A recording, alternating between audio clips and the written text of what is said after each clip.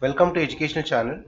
Okay this video is about how to divide any number by 50 okay. Instead of dividing directly by 50 so I'll tell you a simple method.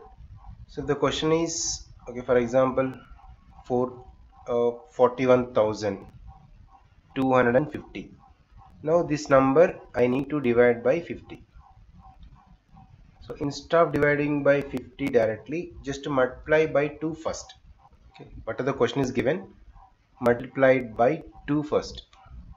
Because why 2 only means we can write 50 is nothing but 100 by 2 right? 100 by 2 is 50 so that means by 50 means that is 2 by 100 that's why it multiply by 2 first.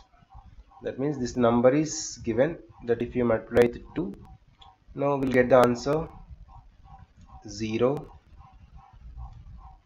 by 2 is 10 4 is 5 2 is 2 1 is 2 and 2 4 is 8 so you'll get 82500 now just leave two digits from right side and keep the point. That's only answer. So for this two digits you leave it whatever digits.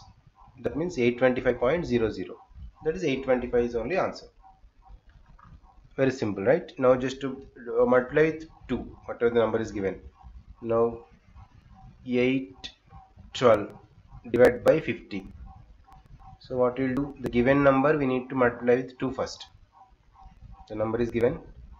Just multiply with 2 that is 2 to the 4 2 1 is 2 16 so 1624 or 1624 now this answer is 16.24 okay. From right side just leave the two decimal places towards your left and keep the point. So 16.24 is answer. So instead of dividing by directly 50 just multiply with 2 and keep the point from right side before this two points. That is ones place and tens place you leave it and keep the point.